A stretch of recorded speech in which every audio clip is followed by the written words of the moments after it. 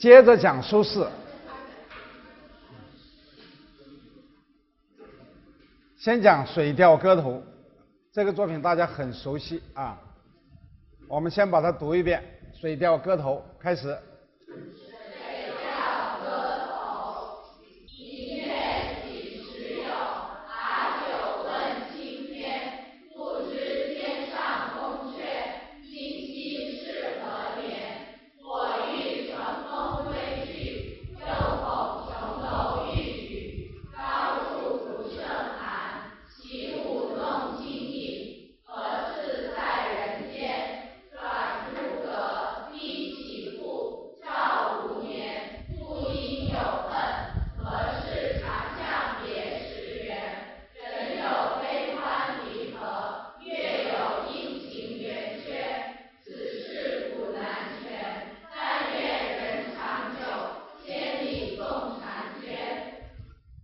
这个作品呢，大家都很熟悉。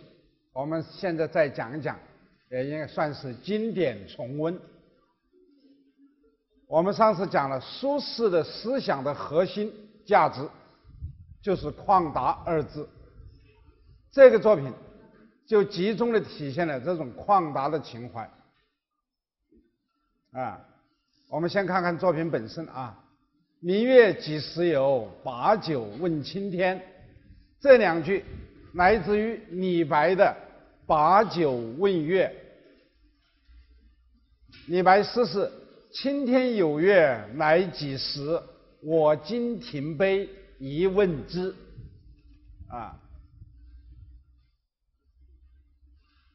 那么这两句的意思就很好懂啊。明月是什么时候开始有的？啊，我要握着酒杯问一问青天。啊。不知天上宫阙，今夕是何年？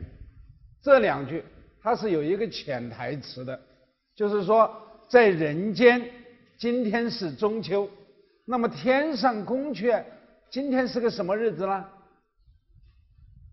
啊，就是很好奇，很向往。我欲乘风归去，啊。请大家注意这个“归”字，啊，这个“归”字，就好像说自己本来就是天上的人，只是因为某种原因才偶然的来到了人间。我们看李清照的作品当中也曾经用过这样一个“归”字，啊，是吧？闻天语，殷勤问我归何处，啊，也是用“归”。大方这些。杰出的文学家，他们往往自己认为自己就是天上的人，啊，就像李白那样子，贺知章称他为谪仙人，他感到啊很高兴，觉得自己本来就是一个仙人嘛，只是因为某种原因被折罚到人间。这个“规”字体现了这些作家们对现实的不满，啊。苏轼在这里讲说：“我欲乘风归去”，就是这个意思，对现实不满，希望能够回到天上去。但是接着又讲：“又恐琼楼玉宇，高处不胜寒。”但是又感觉到月宫虽然很美丽，有琼楼玉宇，但是高处不胜寒，啊，一定会很清寒的，啊，会很寂寞的。说嫦娥在月宫下面起舞弄清影，哪里比得上人间呢？啊，所以这一番意思啊，应该和李商隐的那首嫦娥诗有相通之处。李商隐的诗写道：“嫦娥应悔偷灵药，碧海青天夜夜心。”这嫦娥应该后悔吧？当时她偷了不死之药。他以为做了神仙一定很快乐，事实上他在月宫里面一定是很后悔的，因为月宫很清冷、很寂寞。苏轼就想象说：“我想乘风啊，回到天上去。”但是真正到了月宫，在在月宫里面起舞弄清影，还是没有人间的那一份温馨。我们通过这上篇就可以看出他的思想的矛盾，啊，就是归去还是留在人间的矛盾，也就是出世和入世的矛盾。归去就是出世，啊，留在人间就是入世。那么是留在人间还是归去呢？是出世还是入世呢？经过了这一番思想上的啊。斗争，或者说经过了这一番心理上的调试，他还是选择了人间，觉得天上还是没有人间好。啊，据说啊，当时的皇帝啊，宋神宗，读到“起舞弄清影，何事在人间”的时候，很感慨的说：“说苏轼终是爱君，说最后还是爱君的。”啊，还是留在了人间嘛，啊，当然他作为一个皇帝，他这样解读也有他的道理，啊，所以你苏轼如果要真正要回到天上去，那就是对现实的不满嘛，那就是对我这个皇帝没有感情嘛。现在你决定还是要留在人间，觉得在月宫下面起舞弄清影还是不如人间好，所以他认为终是爱君，最终还是爱我这个皇帝的。下篇再看，转朱阁，低绮户，照无眠。这是写月光啊，说月光啊无处不在啊。他先是转进朱阁啊，然后是从体绮户里面穿进来。绮户啊，就是有雕花的啊窗户，照着不眠之人，照着无眠之人。那么在这里，作者又产生一个疑问：说月光怎么老是和人过不去呢？啊，月光不应该是有恨吧？为什么总是常向别时圆呢？那意思就是说，为什么人间团聚的时候月光不圆，月亮不圆？为什么人世间离别了之后月亮反而圆呢？就比如我们兄弟，为什么我们兄弟在一起的时候月亮不圆，而兄弟离开了反而圆了呢？那不是好像和人过不去似的吗？啊，这就是何事常向别时圆的意思。为什么团聚的时候不圆，而别时要圆呢？所以这里面也是一个令人纠结的问题。啊，但是苏轼之所以是苏轼，就在于他能够自我调试，自己解决这些问题。那是什么呢？他想明白了：人有悲欢离合，月有阴晴圆缺，此事古难全。所以这种事情自古以来就是这样子的，很难两全的，啊，兄弟们、爱人们团聚的时候，月光往往不圆；等到你离别的时候，它就圆了。它就是这样，有这样一种反差，嗯。而且这种事情古难全，既然古难全的话，那么我们还去求全干什么呢？我们就没有必要求全了。所以最后两句很自然的就写出来了：“但愿人长久，千里共婵娟。”我们不必追求完美，只要我们的友谊是长久的，我们即使在千里之外，也可以共同享有这一轮美丽的明月，这就够了。这不就是旷达吗？啊，就自我心理调试。所以这个作品呢。虽然大家很熟悉，很多人都知道这个作品，但是我觉得我们要了解它的核心价值在哪里，就是旷达啊。再看一首《定风波》，开始。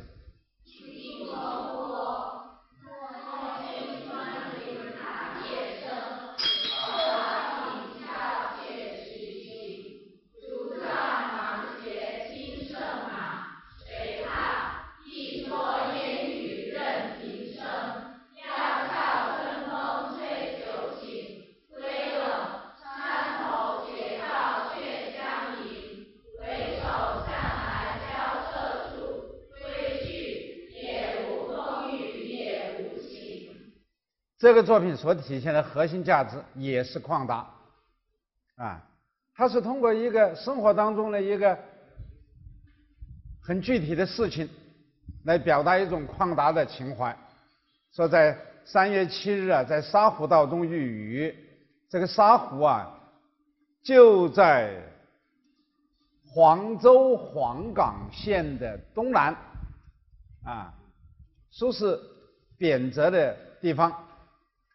他在沙湖道中遇到了雨，而拿雨具的人呢，提前走了，啊，所以同行的那些人都很狼狈，呃，收拾出去。啊，还有一些同行者，啊，由于雨具先走了，所以同行的人都狼狈，都淋了雨嘛。但是他自己不觉，他说雨堵不绝，就我一个人，我不觉得狼狈。果然一而随晴，没过多久天就晴了，啊，所以就有感于此，就做这一首词。啊。莫听穿林打叶声，穿林打叶声是什么声音呢？就是雨声嘛，雨在穿林打叶嘛，这很形象的描绘雨声，这就是不要去在意穿林打叶的雨声，何妨吟啸且徐行，不要感到狼狈。何妨边吟边笑，吟呢就是低声的吟，笑就是高声的笑。一路吟笑，且徐行，就是很从容的走。啊，说这种生活已经很好了。竹杖芒鞋轻胜马，啊，我们没有骑马，我们杵着竹杖，穿着草鞋，但是我们仍然感到很轻快。谁怕？有什么好怕的呢？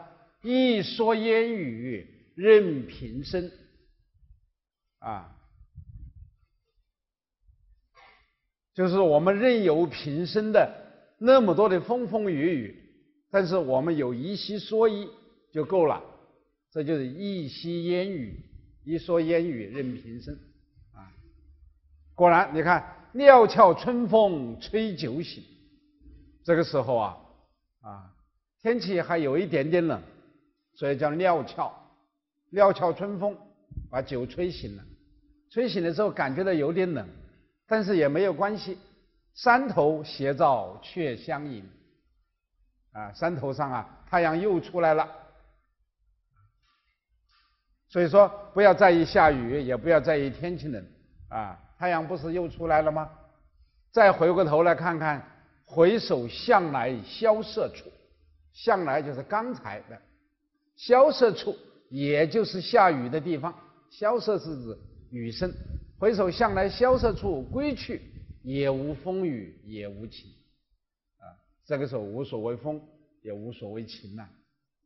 这里面写的就是一种很旷达的情怀。啊，同行的人由于路上遇雨，觉得很狼狈，他自己不觉得，为什么呢？他认为风雨很快就会过去的。有一个流行歌曲，不是说不经历风雨怎么见彩虹，是吧？风雨来袭的时候，不要紧张，不要狼狈，不要马上就是急不可耐的要找一个雨具或者找一把雨伞。其实淋一淋雨又何妨呢？啊，我最近就有这一段经历啊，我是这个星期五的那一天，我们去。去看那个南沙的啊天后诞，南沙的天后诞今年很热闹啊，请了三个神来这个凑热闹，一个是佛山的那个祖庙的北帝，一个是德清的岳城的龙母，还有一个是黄埔的。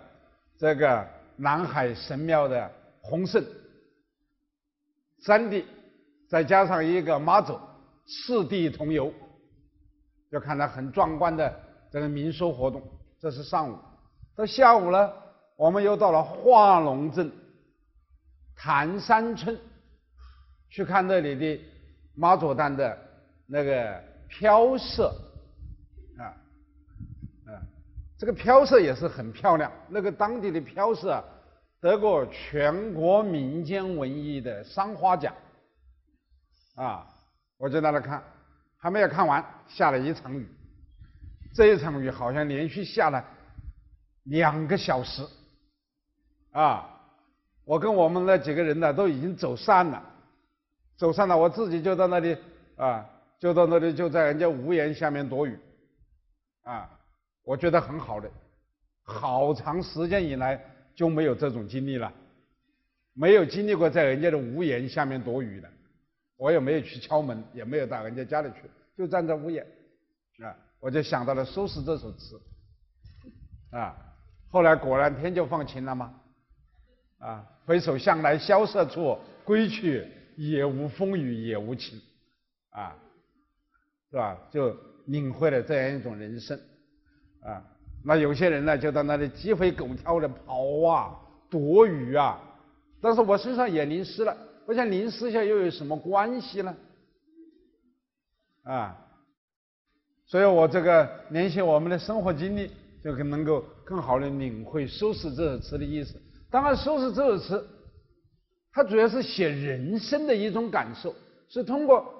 通过这个下雨也随晴这一段经历，写人生的感受。说人生如果遇到挫折、遇到困难、遇到屈辱、遇到打击的时候，一定要想开一点。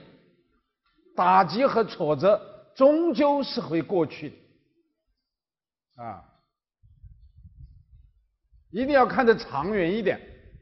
如果看很多人就是在这种时候就挺不过去，啊。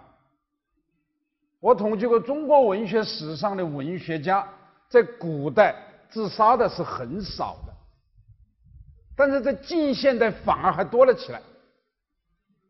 近现代从王国维开始，王国维自杀，接着后来文革当中好多人自杀，像老舍啊、傅雷呀，在文革之后的还有顾城呐、海子啊，啊。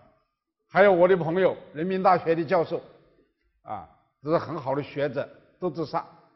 我后来就就分析一下他们这些人为什么要自杀呢。因为中国传统文化是不鼓励自杀的，尤其是儒家文化不鼓励自杀，道教文化也不鼓励自杀。所以他们这些人为什么要自杀呢？我就分析一下他们的知识结构，恐怕主要还是受了西方文化的影响。你看老舍是吧？长期在国外教英语，啊，受英国文学影响，受国外影响。傅雷更不用说，啊，翻译了那么多国外的作品。王国维也也受到国外的影响，受到叔本华和尼采的影响。当然，他吸收的是不一定是叔本华和尼采哲学的精髓，啊，像海子、顾城都是这样子的。像我那个朋友。成天研究海德格尔，啊，所以他们这些人在知识结构当中更多的受了西方文化的影响。西方文化当中有很多自杀的东西，中国文化不主张自杀。请大家记住我一句话：活着就是胜利，死了就是失败。啊，所以我向来是反对自杀的。再看一首。这首也是大家很熟悉的，啊，读一遍啊，《蝶恋花》开始。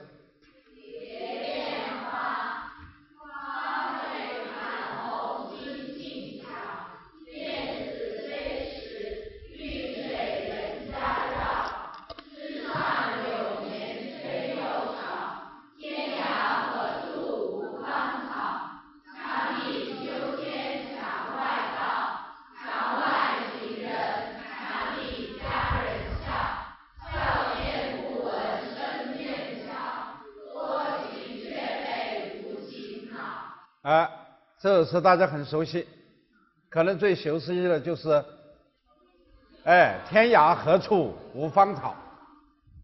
其实现在人们对“天涯何处无芳草”的解读啊，与这个作品的本意，哎，不是不一致的。啊，我们先看看作品本身啊，“花褪长红青杏小”，这就是写这个。晚春时候的景象嘛，啊，花褪残红啊，就是花都已经凋谢了，啊，连剩下的那么一点啊花蕊都掉下来，青杏小啊，杏呢已经结出了很那个杏花树上面结了很小很小的杏子了，这应该是啊春末夏初之景，所以你看，接着看下面的景象。燕子飞时，绿水人家绕。啊，这个绿水啊，围绕着人家，围绕着住户在盘旋，燕子在飞翔。枝上柳绵吹又少。啊，柳绵就是柳絮，这是夏初的景象，说柳絮都很少了。天涯何处无芳草？到处都是芳草。啊，长满了芳草，这实际上写什么呢？这是伤春嘛，就春天过去了，啊，天涯何处无芳草，它是一个很感伤的话，啊，它来自于《楚辞》里面的啊，王孙游兮不归，春草生息萋萋，啊，说又是一年春草绿了。到处都是春草，但是王孙还没有回来。就是作品写的，他所思念的那个男子还没有回来。又是一年芳草绿，又是一年过去了，但是王孙还没有回来。这就是“天涯何处无芳草”的本意。